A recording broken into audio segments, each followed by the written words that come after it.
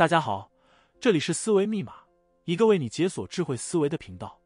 心理学中有一条著名的一百五十定律，告诉我们一个人的人际圈是有限的，社交人数的上限大约为一百五十人，而最终进入核心交往层的却只有大约二十个。这个定律揭示了人际关系中的一种现实：随着时间的推移，我们并非失去了一些朋友，而是逐渐懂得了谁才是真正值得深交的朋友。随着年龄的增长，我们开始明白，人生的朋友圈并非无限扩展的，而是有限的、珍贵的。在人生的不同阶段，我们会结识许多人，建立各种各样的关系，但最终真正能够走入我们心灵深处的朋友却是屈指可数的。这并不是因为我们变得不善交际，而是因为我们开始有选择性的花费时间和精力，与那些真正与自己契合、值得信任的人建立更深层次的关系。年少时以为朋友就该陪你走到人生尽头，这是多少人对友谊的美好幻想。然而，随着生活的巨大变化和个体成长，曾经的莫逆之交也可能在人生的旅程中渐行渐远。这并不代表曾经的友谊没有价值，而是一种自然而然的生命轨迹。每个人都在寻找与自己相似、共鸣的灵魂伴侣，而这种默契的交往往往会成为人生中最持久。最深刻的友谊，在经历过各种人际关系的洗礼后，我们学会了珍惜那些能够真实相待、共同成长的朋友，逐渐明白生命中的交汇与别离都是正常的，而真正留下来的朋友才是我们人生中最宝贵的财富。一际遇不同，终将渐行渐远。主持人何炅曾感慨地说：“无论你愿不愿意承认，朋友是阶段性的，就算是不想承认。”也必须接受，就是大家不一样了。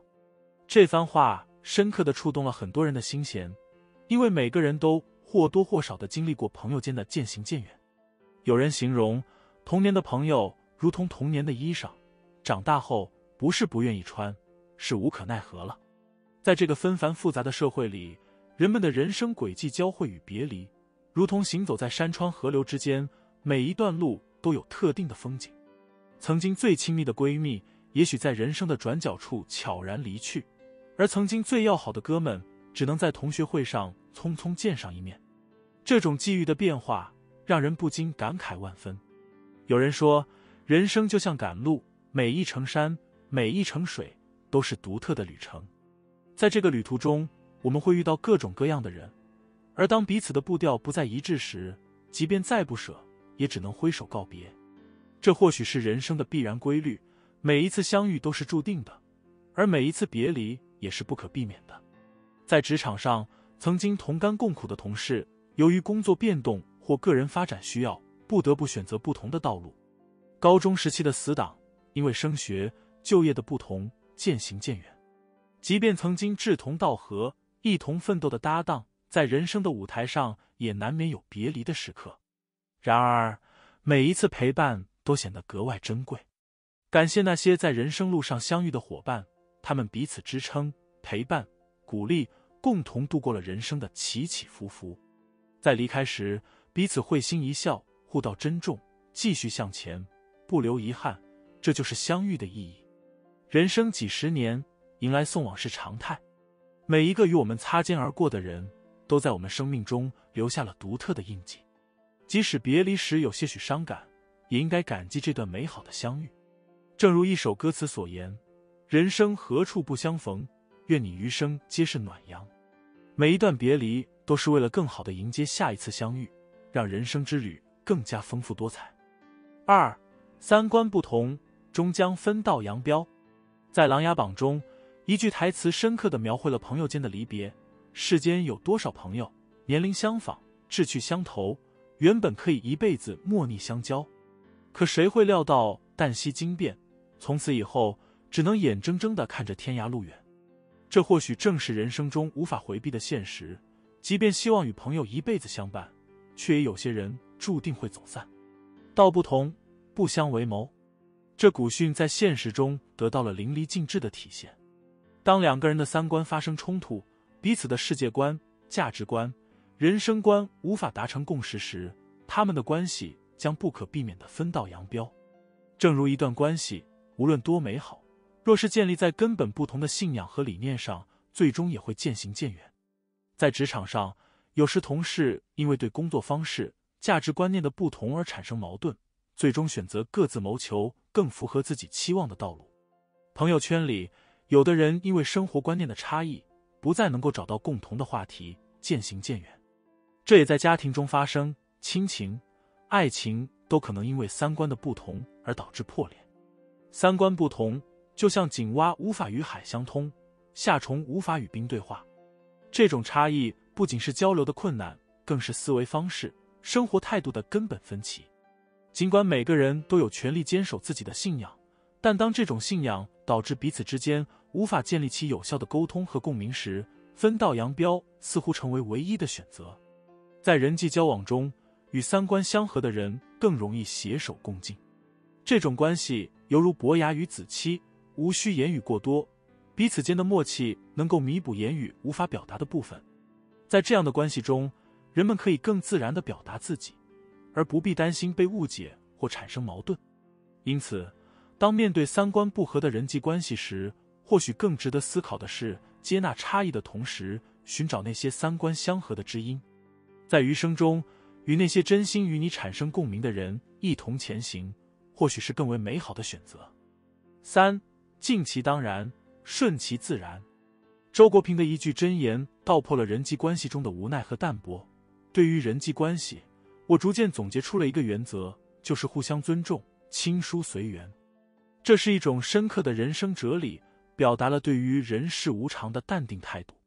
在人际交往的长河中，有人要走，友情会淡，因为天下无不散的筵席。这其中，尽其当然，顺其自然。似乎成为人们最终的选择。长久的关系是可遇不可求的，两个人要能够携手走得更远，需要很高的门槛，双方志识对等，志趣相投，灵魂契合。在人生中，能够遇到一个与自己灵魂相似、志趣相投的人，能够一同前行，一生相伴，这已经足够。这样的伙伴关系，如同一场奇妙的邂逅，不可强求，但一旦拥有。却是珍贵不已。一书在其文字中表达了城市中人际关系的复杂。城市中人看似高朋满座，客似云来，然而真正能倾心交谈的，却未必有三两个。岁月如大浪淘沙，淘尽不属于自己的人，留下的是人生的真实风景。在这浮华的都市生活中，有人匆匆而来，有人悄然离去。人世如梦，我们唯有接受缘分的随意无常。领悟尽其当然、顺其自然的智慧。成年人的世界，亲疏远近、聚散离合，都是再正常不过的事。在中年的阶段，回首过去，我们或许已经经历了千帆过尽的风雨，生活也在热闹与清欢之间徘徊。接受缘分的自然安排，释然于人生的起伏，不再为过去的遗憾感伤，而是怀着一颗平和的心，欣然接受生命的变化。曾经的同学。因为生活的起伏走向了不同的方向，曾经的工作伙伴在职业生涯的变迁中散落在各地，曾经深交的朋友因为家庭事业的压力而渐行渐远。这些例子都是生活中尽其当然、顺其自然哲学的真实写照。所以，当我们看到那些曾经走进生命的人悄然离去时，或许应该感激他们曾给予的陪伴，然后顺其自然、心怀感激的继续向前。在这过程中，人生会更加丰富多彩，也更容易找到与自己志同道合的灵魂伴侣。《千与千寻》中有这么一句话：“人生就是一列开往坟墓的列车，路途上会有很多路口，没有一个人可以自始至终陪你走完。你会看到来来往往、上上下下的人。人生有很多的岔路口，每个路口都有人进来，也有人离开。很多时候，朋友都是陪伴我们走过一个阶段的人。”最好的关系是陪伴时珍惜，离开时祝福，亲疏随缘，聚散随意。愿你的真心被守护，遇到一个知你冷暖、懂你悲欢的人。好了，今天的分享就到这边。如果你也喜欢这个视频，不要吝啬你手边的点赞，你也不妨订阅、分享及在下方留言。我们在下个视频再见。